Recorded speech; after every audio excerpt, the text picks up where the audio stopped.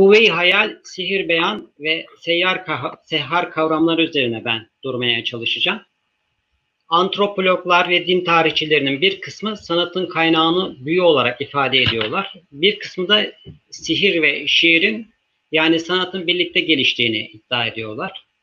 Ben bu minvalde Bediüzzaman'ın şairi sahir ve kuvve hayalden neşet eden sihri beyan tamlamasında karşılığı bulunan şairi sahir olarak ifade ettiği sihirci şair yani sehar ve hayal ve ondan doğan sihri beyan kavramları üzerinde durmaya çalışacağım. Ee, üç ayaklı, üç sayaca, e, saç ayağı olan bir e, sunum olacak benim. Birincisinde e, hayal gücüne değineceğim. Sözün en mükemmel şeklinde kendisinin de karşılığı bulunan Hz. Muhammed Aleyhisselatü Vesselam için isnat edilen sözde kusurlardan biri de onun şiirler söylemesi, rüya ve hayal aleminde yaşıyor olması iddiasıydı. Halbuki rüya ve hayal gücü fikre veriyor, ruha zaman ve mekan anlamında yeni şeyler kazandırıyor. Medeniyet e, bu minvalde hayal gücü üzerinden ilerliyor, gelişiyor. Çağın Kur'an tefsirini yazan Bediüzzaman uçsuz bucaksız bir hayal dünyasında geziyor ve okurlarında bu minvalde gezdiriyordu. Görmediğim şeyi yazmadım diyerek hayal dünyasının sınırlarına kendisinin hayal dünyasının sınırlarına işaret ediyordu. O kainattan halikini soran bir seyyahtı. Kendi ifadesiyle sesi gah e, minarenin ucunda, gah kuyunun dibinde, gah serada, e, gah süreyada e, geliyordu. Sözlerindeki o şiirsel büyülü etki onun hayal gücünün kainatlarda seyahat eden seyyah kişiliğinde aramak gerekiyor. Sözü efsunlayan bir tarafı var sihirin. E, sihir bir şey olduğundan başka bir şekilde göstermek, aldatmak, oyalamak, birinin ilgisini çekmek için gönlünü çelmek için büyü, göz bağcılık, büyücülük, hilekarlık, aldatmak, e, haktan uzaklaştırmak gibi anlamları ifade ediyor. Öyle ki e, o büyülü şiirsel, e, şiirsel ifadeler e, sihre bürünerek hakkı batıl, batılı hak gösterebiliyor. Doğruyu yanlış, yanlışı doğru gösterebiliyor. E, sözün e, sihirsel anlamda böyle bir e, gücü var. E, dil bilimciler genel olarak e, sihir kavramının da iki özelliği dikkat çekiyorlar. Birincisi sihirin sebebinin yani oluşumunun gizli olması. İkincisi e, ince oluşu. E, sihir başkası üzerinde tesir gösterme, hayallendirme, yönlendirme, zanla düşürme ve aldatma işlevlerini görüyor. Muhatap üzerinde sihirin karşı konulmaz bir etkisi var sihirli söyleyişle efsun, efsane ve yalanlarla söze parlaklık verilip karşıdakinin duygu ve düşüncelerine istenilen yönde etki etmek amaçlanıyor. Şüphesiz sözün bir büyüsü var. Sesle etkilenerek insanlar istenilen noktaya getirilebiliyor. Cerbezeli sözlerle karşıdakinin algıları da yönetilebiliyor. Hayal hakikat, hakikat hayal olarak gösterilebiliyor. Doğru yanlış yanlış doğru olarak gösterilebiliyor. E, şimdilerde modern çağda, modern zamanlarda algı yönetimi e, şeklinde bir e, kavramdan bahsediliyor. Aslında bu sihirsel söyleyişin bugünkü karşılığı denilebilir. Burada muhataplar bu algı yönetimi diyeceğimiz sihirsel söylemde Bediüzzaman'ın ifadesiyle akıllar, kalpler ve fikirler bir istilaya uğruyor akıllar e, dağılıyor, manevi bir e, divane oluyor. Kalpler dağılıyor, manevi bir e, dinsiz oluyor. Fikirler dağılıyor, manevi bir ecnebi yani yabancılaşıyor. İnsan kendine, kalbine, aklına e, ve fikrine yabancılaşıyor. E, sihri, sihirsel söylemin böyle bir e, etkisi var. E, söz bağlamında sihri iki çeşide e, ayırıyor uzmanlar, dil bilimciler ve İslam alimleri. Birincisi sihri helal dediğimiz, ikincisi de sihri haram dediğimiz kavram. Sihri helalde insanların karşıdaki muhatabın duygularını, düşüncelerini olumlu yönde, pozitif yönde etkilemek söz konusu. Sihri haramda ise e, bunun tersi e, söz konusu. E, insanlarda haram duygusuna, yanlış duygusuna e, sevk edici şeyler. Başta peygamberler olmak üzere kutsal kitaplar ve Kur'an-ı Kerim'in bu asırdaki tercümesi olan Risale-i Nur e, helal e, sihre e, örnek verilebilecek e, eserler olarak karşımıza çıkıyor. Benim konuşmamın e, ikinci bölümü sihri beyan üzerine olacak. Birincisi hayal gücüydü, ikincisi de sihri beyan üzerine olacak. Beyan, bilgilendirme, söyleme anlamına geliyor. Ortaya çıkmak, görünmek, zahir olmak, açıklamak, maksadı ortaya koymak kavramlarını karşılıyor. Etkileyici söyleyiş güzelliği olarak da ifade edenler olmuş beyanı. Aslında Kur'an'ın taliminden sonra insana beyan öğretilmesi olgusuna dikkat çekiliyor. E, dördüncü ayette ona beyanı yani düşünüp ifade etmeyi öğrettik deniliyor. Sat suresinde ise sesiyle varlığa ilahi kelamları zikrettiren güçlü bir ses sahibi olan Hazreti Davud arzusunu en akılcı şekilde ifade edecek beyan kuvvetini yani hitabetinin e, verildiğinin altı çiziliyor. E, burada dikkat edeceğimiz şeylerden birisi beyanda sihir, şiirde de hikmet olması. Hadis-i şerifler ve Kur'an-ı Kerim'deki ayetler bu minvalde bazı açıklamalarda bulunmuş. Ee, en özel ilahi sözün kendisine emanet edildiği Efendimiz Aleyhisselatü Vesselam'ın yanına bir komşusu geliyor. Ve bu kişi diğer komşusunu öve öve bitiremiyor. Ertesi gün tekrar geldiğinde bu sefer de yere yere bitiremiyor.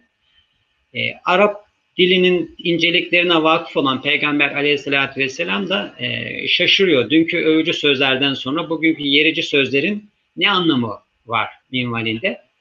E, bu sefer e, komşu şöyle cevap veriyor. Ya Resulallah dün de söylediğim doğruydu, bugün de söylediğim doğru.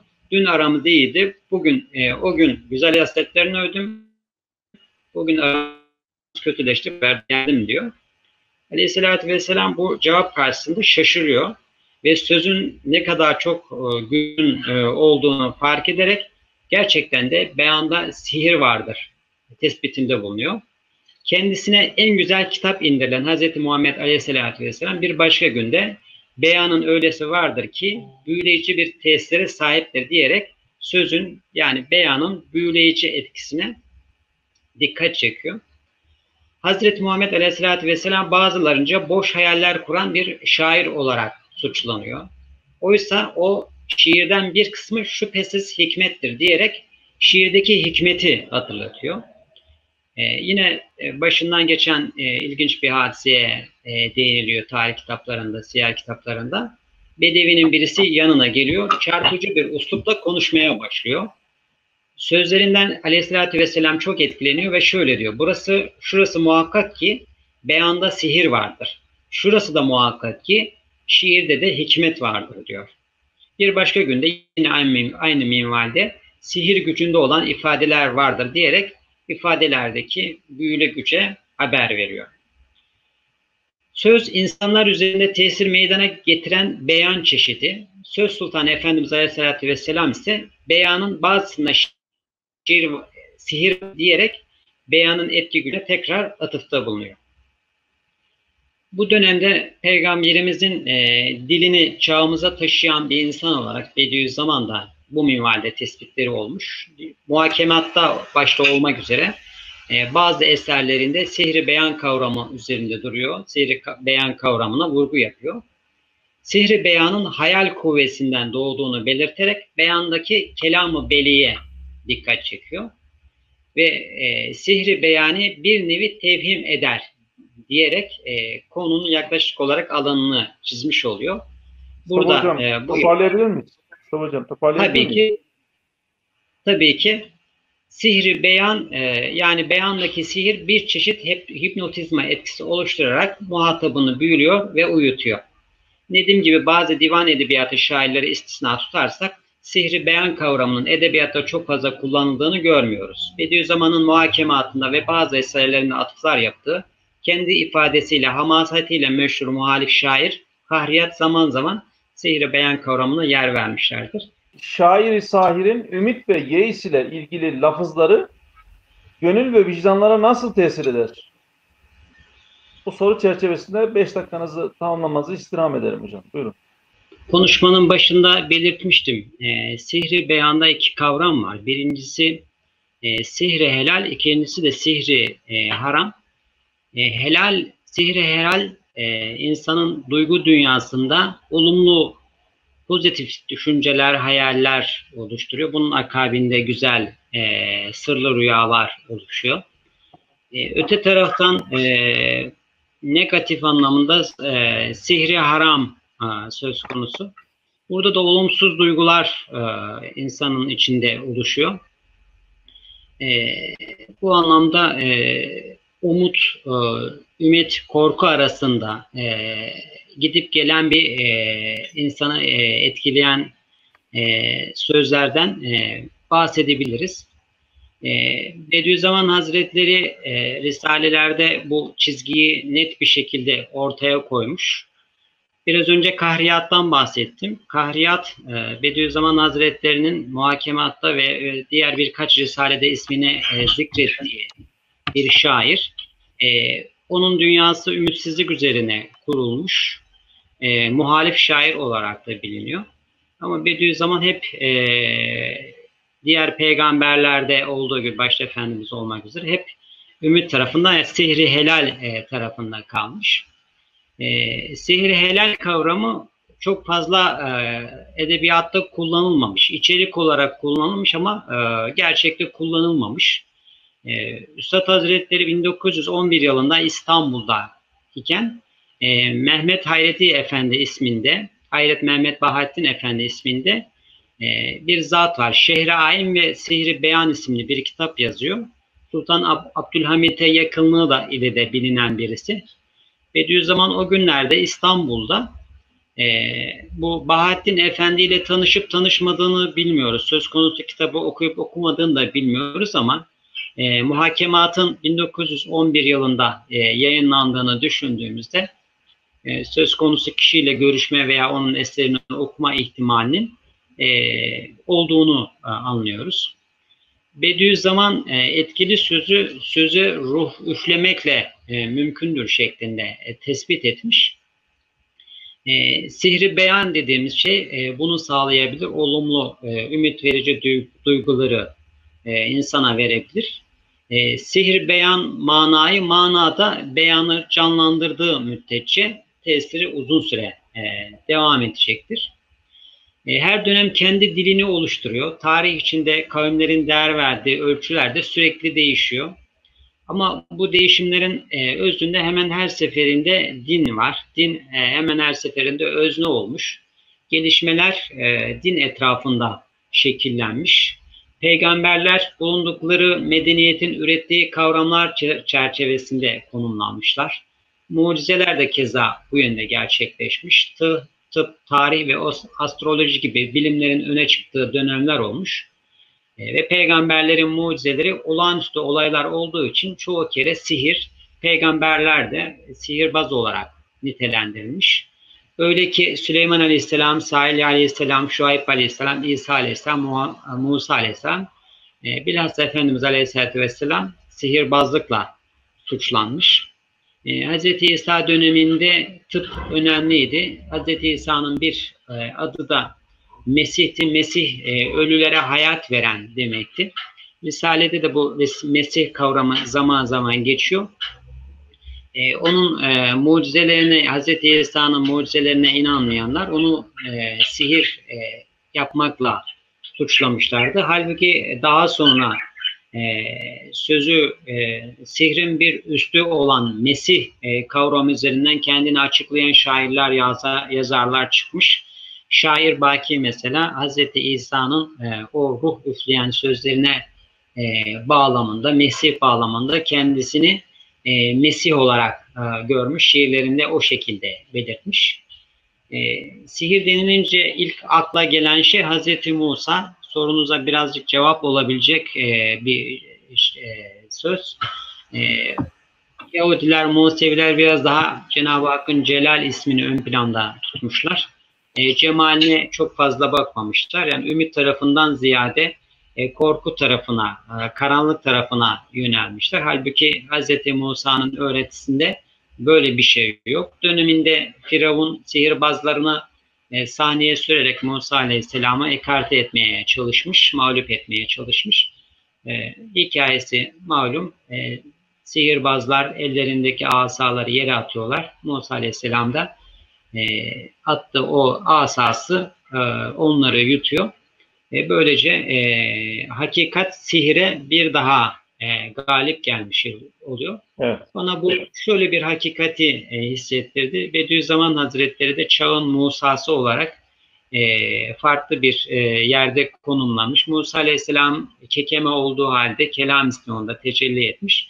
Bediüzzaman da e, e, yarım ümmi, Türkçesi çok iyi değil, yazısı çok iyi değil ama e, bir anlamda kekeme ama e, Risalelerde geçen e, kelam iliminden birisi gelecek diyor. E, ve Risale-i Nur'un o olduğunu söylüyor Üstad Hazretleri. E, burada Musa Aleyhisselam'ın sesini olmaya çalıştığını görüyorum ben e, Üstad Hazretleri'nin. Asay Musa Risalesi de bir anlamda e, çağın e, Musa'sı olma yolunda Bediüzzaman'ın e, olduğunu gösteriyor. Evet. E, asırlar sonra e, Bediüzzaman Hazretleri e, bu şekilde e, Asay Musa ismini e, eserine vererek Musa Aleyhisselam'a da e, bir gönderme yapmış. E, Hz. Musa Aleyhisselam döneminde kehanet ve sihir vardı. Hz. Mustafa Aleyhisselatü Vesselam döneminde de şiir e, ön plandaydı.